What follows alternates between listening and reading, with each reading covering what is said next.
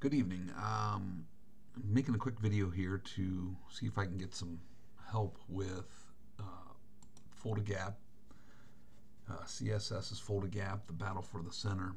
Um, this uh, video is directed towards Adam. I'm gonna I'm gonna post this on the um, Facebook uh, CSS Wargaming page. But this is uh, directed to Adam or anybody that plays the game and understands it well. I'm just trying to get some help, and I've read through all the errata, and I've read through uh, the even the version 2.0 rules, but the I notice the version 2.0 rules don't really get into uh, the questions that I have here, which are primarily about uh, uh air superiority and air power uh, turns.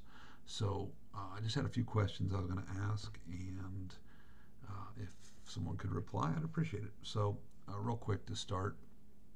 Um, first question I have is on the scenario four. This is the battle I want to uh, start working on. I'm playing it solo, but I see here that um, in my initial setup, NATO gets a SAM strength starting at five and an AWACS in the AWACS box. Um, then after the 11th cav activation, place, you know, we, we place this, the next M1 Abrams company and then the M60 company. But then we see that the SAM strength gets uh, is another five, and then another AWACS. And I'm my question, just my first question is, does that mean the SAM strength doubles from five to ten right at the onset of the of the game, or and and they get two AWACS aircraft. I, I'm I'm trying to understand if that's the case. Um, and if there's two AWACS aircraft, do you only have to put one in the AWACS box and the other one sits on the airfield? Um, or do they both go in the AWACS box? Anyway, uh, so that's question number one. Um, second question. We're going to go to the actual air combat table here. So here's the air display. And my second question is, can AWACS be attacked? So I'm going to set up an example here. I've already, I'm going to just assume some roles. I'm going to assume that uh, um, NATO won the AWACS, um, the AWACS uh, advantage. And then they rolled for their uh, packages and that NATO got uh, two two elements for their strike uh, fighter sweep. They they rolled F-16 and were able to choose two of them based on the roll that they that they got, and that the um, uh, Soviets rolled for themselves to get a Su-24 strike. So with these um, assumptions in place, the next set of questions is, okay, I'm uh, I'm I know that fighters once they're placed, they are on the battlefield. That's where they uh, they can't move again. They basically fly cap over that position of the battlefield or the approach to the battlefield, or you know even in defense of their own approaches. But now they once once they're placed, I understand that I then do SAM attacks against them. So in our example here, uh, the Soviets have a four strength SAM value, but uh, because I have it in the Warsaw Pact approach with my fighters, I add three to that, so that becomes a seven. So they need a, they need a seven on the die to uh, or less to um, hit hit or abort my fighters. Again, this is what I'm assuming from the rules because I'll be honest with you, the rules don't necessarily state what the target number is for um, surface to air missiles. I couldn't find anything in the book. It just says against the modified um, uh, the uh, value. Okay, so that's what my modified. That's what I'm assuming my modified value is. Four SAM strength plus three is seven. But it also says here SAM against fighter sweeps is a minus 2, which I then think that it drops me back down to a 5. So I need a 5 or less on the die to either abort or eliminate these aircraft. So, going back to my previous question, let's assume that I'm right and they have a second AWACS and oh, it's not eliminated, but it's on the airfield. AWACS on the airfield, AWACS in the air. So, um, we, you know, so we would roll uh, D10, modify that with a minus 2 from the F-16, gives it a 1, which is, to the way I see it, elimination of an aircraft. So, boom, that, that F-16 would be blown out of the sky. Again, another 3, boom, the other one would be up. So, based on my dice, die rolls here, it brings an end to my questions based on my example. So let's not assume. Let's let's assume the the um, SAMs missed against the two F-16s. But I guess to to add here, I'm assuming that is correct though. So I assume the SAM strength goes to five. I need at least a five or, or less.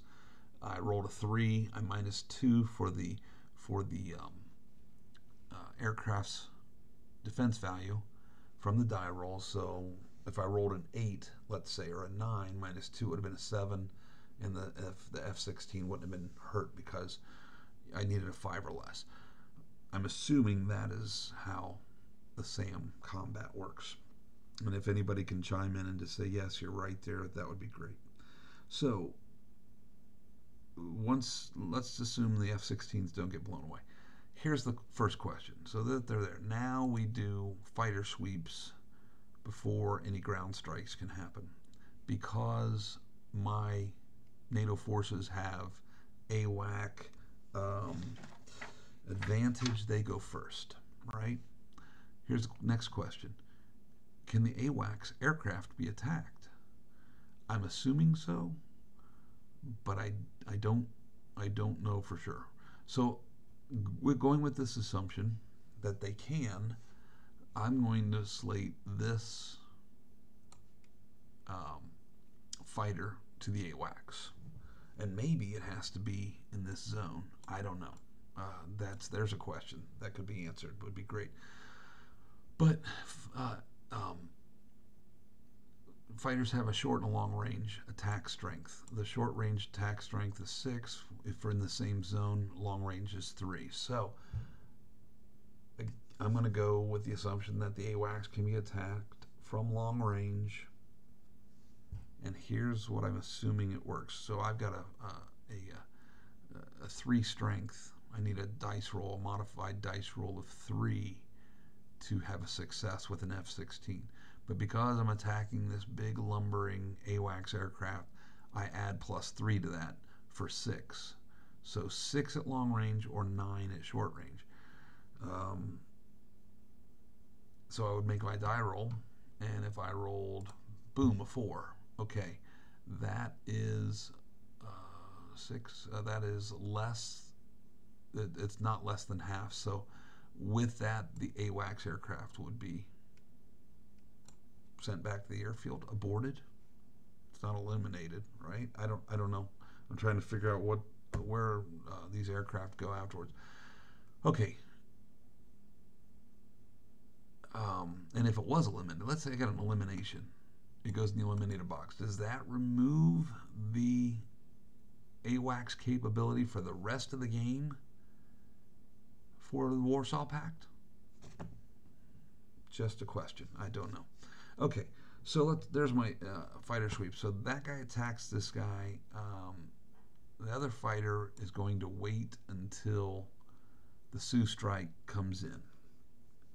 So they're going to hold their attack. I believe that's allowed because when the strike missions begin, as the strike mission goes through different zones, it can be attacked either long range or short range.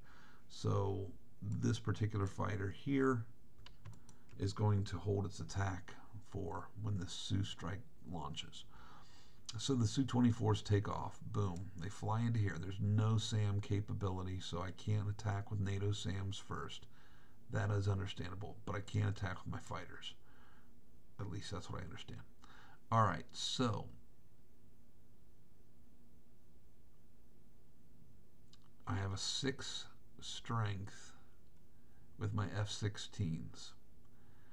The defense is a negative three. So the six becomes a three, and I need to roll a d10, and I get a one. Boom. So that to me means that that Su-24 strike is aborted. Yes, correct. Let's say I missed. Once he and this is a let's say this is a ground attack. Once let's say I missed, that means the both these fighters have attacked, so they return to the airfield. Again, assuming. The Su-24 then continues. He moves from here, and now my NATO, my uh, um, um, SAMs, my NATO SAMs can attack, which are so then they've got a strength of five, uh, minus a two from that, so I need a three or less. Boom, I roll a one. Boom, I'm rolling really good tonight. So, boom, the Su 24s are blown out of the sky. They are eliminated, sent back. Let's say they're aborted. Do they go back to the war to the airfield and are available the next turn, or this every time you you have an air superiority chit pulled, is it new air packages altogether? Um, or do the uh, previous air packages stay if they're just aborted and sent back to the airfield? There's there's another question. Um, but let's say he he doesn't kill him here. So if and, it, and it's not a it's not a, a, uh, ground support. Let's say it's a SAM suppression. Um, and when the for a SAM suppression, it says that they uh, they um, mission must enter the enemy approach to the battlefield box. So that means he's got to go here. So he flies through here. Let's say this is the SAMs miss. I rolled the SAMs miss. He flies into here now. Do I get another Sam attack? I'm assuming I do because it it just reads like you get for every box it enters you get a SAM attack. Um, that would be another question. I don't know what question I'm on there. So uh, that's about it. That's about all the questions. Um, is the die roll modifier applied to the, the, the total number to, to roll against or the dice roll against? So uh, back to our, our example here when on the west on the approach here. Um, at close range I've got a six and I've got a negative three dice roll defensive value.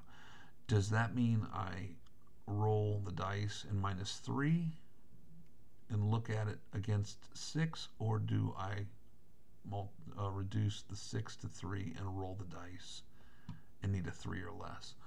Um, and what about a 0? Does a 0, let's, let's say it's the latter. Let's say I attack here and, it, and uh,